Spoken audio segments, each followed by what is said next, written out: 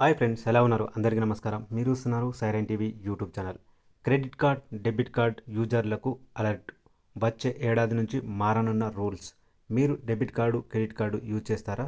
అయితే మీరు జనవరి ఒకటి నుంచి వచ్చే కొత్త రూల్స్ను తప్పకుండా తెలుసుకోవాలి.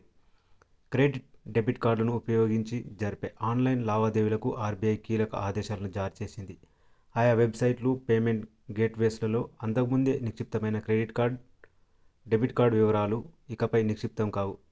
ఆర్బీఐ కొత్త రూల్స్ ప్రకారం ఆన్లైన్ షాపింగ్ చేసేటప్పుడు లేదంటే డిజిటల్ చెల్లింపులు నిర్వహించేటప్పుడు ఆయా వెబ్సైట్స్ యాప్స్ వంటివి కస్టమర్ల క్రెడిట్ కార్డు డెబిట్ కార్డు వివరాలను స్టోర్ చేయకూడదని ఆర్బీఐ పేర్కొంది.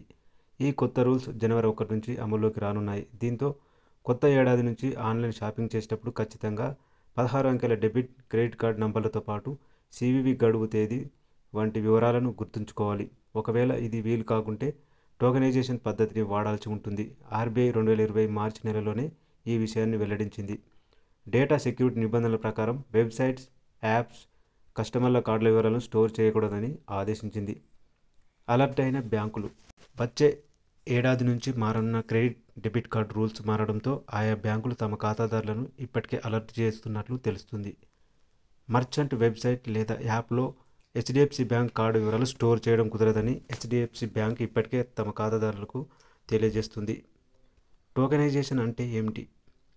ఆన్లైన్ లావాదేవీలను జరిపేటప్పుడు ఖాతాదారులు పాదారంకెల క్రెడిట్ డెబిట్ కార్డ్ వివరాలను గుర్తుంచుకోకపోతే టోకెనైజేషన్ విధానాన్ని వాడవచ్చు. ఈ విధానంలో ఆయా క్రెడిట్ డెబిట్ కార్డ్ యూజర్లు వారి కార్డు వివరాలను తెలియజేయాల్సిన పని లేదు. ఒరిజినల్ కార్డ్ నెంబర్కు బదులు ప్రత్యామ్నాయ ఎన్క్రిప్టెడ్ కోడ్ను బ్యాంకులు ఇస్తాయి. దీన్ని టోకెన్ అని పిలుస్తారు. లావాదేవీ సమయంలో ఈ కోడ్ను అందిస్తే సరిపోతుంది.